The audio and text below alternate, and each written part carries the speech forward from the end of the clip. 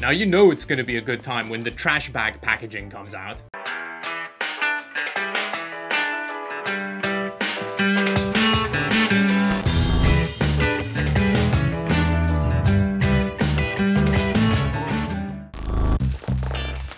Oh.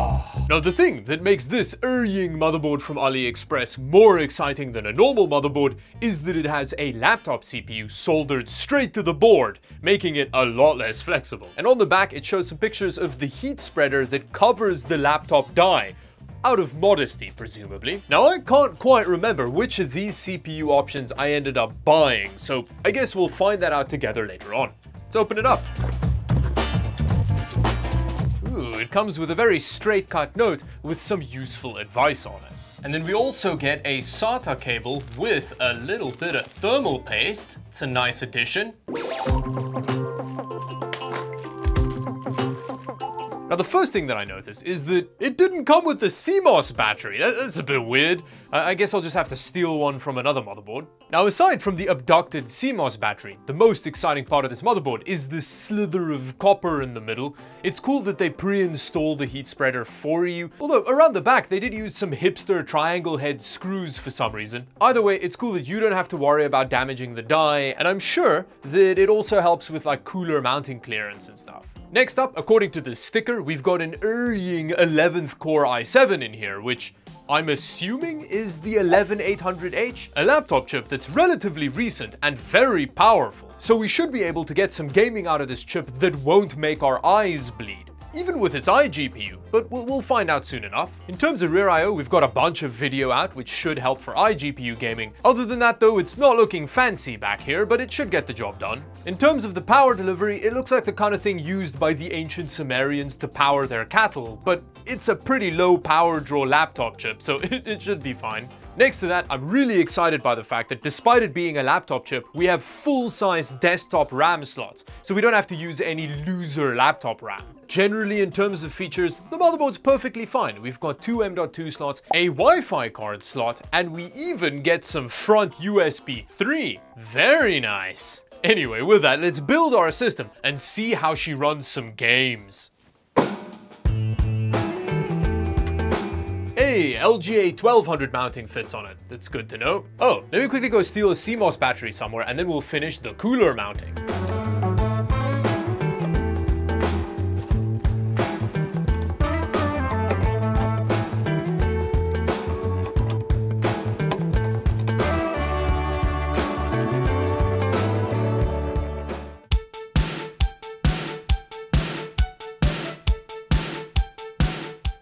Hey! It works! Now in terms of CPU, apparently it's a genuine Intel CPU 000 at 2.2 gigahertz, which is very convincing. I guess it's because it's an engineering sample that it doesn't have its normal name up. Uh, in terms of memory, Oh, okay, well, it's just running at its base frequency, but we'll check out the BIOS in a second and see if we can do anything about that. It, it just says Intel UHD graphics. That's, that's very useful. The BIOS was an intimidatingly retro throwback, with pages upon pages of settings, all written in what I can only imagine to be a language long lost to the annals of history. And after a confusing 20 minutes of drowning in submenus, I concluded there was nothing I could do about the memory speeds. As is tradition, we're starting off with GTA 5, using 1080p normal settings because we've got an iGPU. Wow, this actually isn't running too poorly. Now, it may just be sitting in the 30s, but we're running at the native resolution of this display, and it's not triggering my botulism. What's also very promising about this is we're only getting about 11-ish percent CPU utilization, so later on when we throw in a proper graphics card, we may get some serious gaming performance. Also, look at that power draw. Now with CSGO running at competitive settings, we have some jarring stutters. But in the moments of clarity between the stutters, despite the non-show-stopping frame rate, the game feels pretty good. Often with frame rates this low, you can get a lot of input lag in CSGO, and while there's a little bit of it here, it's not that bad. Ah, there we go, like I'm still able to put these bots in their place. Okay, now hear me out. Battlefield 5 may be running like an asthmatic in a pollen factory here, but we're using a genuine Intel iGPU and there's some Battlefield 5 happening. So I just can't help but be impressed here. Dropping the resolution to 720p yields a significant performance improvement, and it doesn't look that bad. Battlefield 5 wears 720p better than I was expecting. The most exciting thing for me though is that CPU utilization. There's a lot of room to grow. Now I'm gonna be a complete badass and start off Half-Life 2 with all high settings. I know, I know it's madness, but let's see what happens. Nice, my bravery paid off, look at that. Hundreds of frames. Anyway, let's drop an unreasonably powerful graphics card in here to really make the CPU wheeze.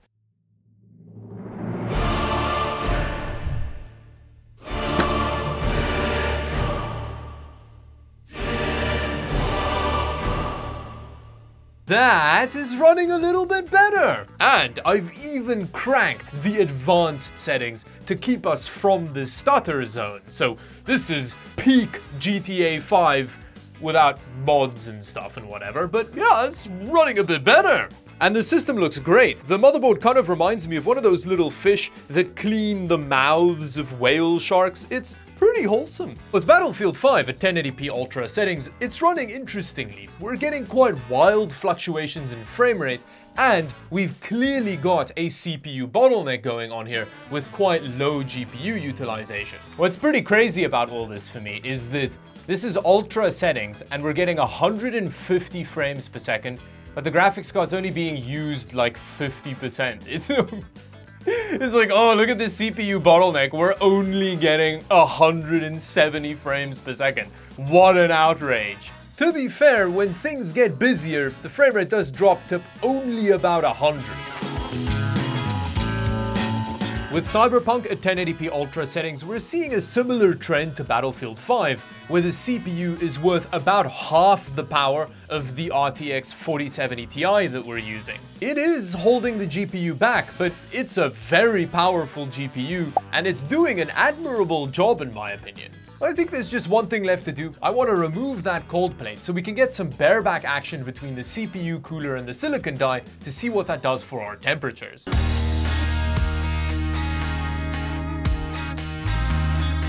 I'm gonna be very careful about evenly relieving pressure here because I don't want to accidentally murder a CPU die.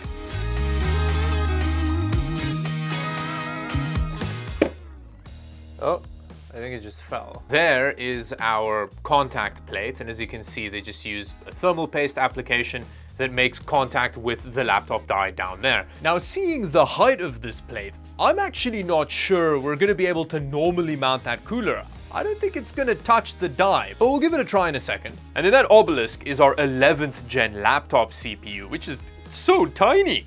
Let's give it a clean and have a closer look. And that shiny bit of silicon with the gold letters next to it is our genuine Intel CPU. Wow, that's not even almost touching. I guess we're gonna have to get a bit more ratchet with it. A few moments later. So I guess now we're gonna have to mega raw dog it because we don't even have mounting hardware for the CPU cooler. What I'm gonna do is just kind of gently place the cooler down that feels reasonable. Let's turn it on and see what happens. Wow, okay. So all you need to do to knock a couple of degrees off of your genuine Intel CPU is remove the contact plate and then precariously lean your cooler on it. That sounds like useful information to end the video on.